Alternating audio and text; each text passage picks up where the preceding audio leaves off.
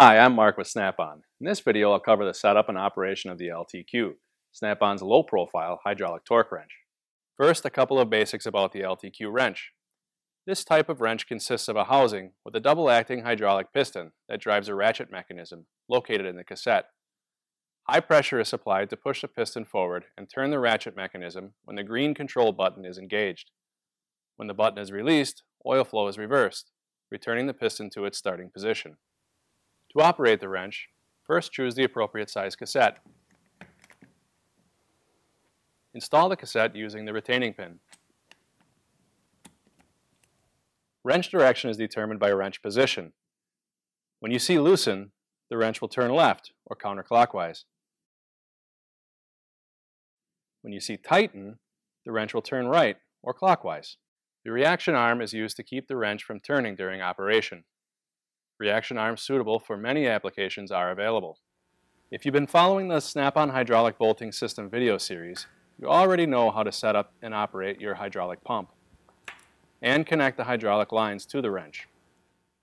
Next, attach the removable handle by threading it into the body of the wrench. Using the removable handle, place the wrench on the fastener with the reaction arm against the solid blocking surface. In this case, we're using the adjacent fastener. The reaction arm is a pinch point, so be sure to keep hands and fingers away from this area by using the handle to steady the wrench. You may need a backup wrench to keep the counter nut from turning. In this case, a hydraulic BTQ wrench is being used. Be sure that you have the hydraulic pump adjusted to the appropriate pressure by referring to the torque chart that came with your wrench. With the LTQ and backup wrench in place and securely blocked, you can now start the hydraulic pump. When torquing a fastener, continue cycling the wrench until it stalls. Then engage the pump a few more times to be sure the fastener has been fully torqued to the desired value.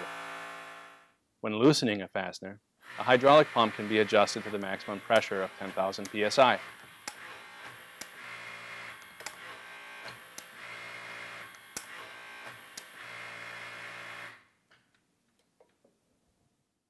In addition to the LTQ, Snap-on offers a variety of hydraulic pumps, torque wrenches, and other accessories. For more information about those tools, check out our other product videos.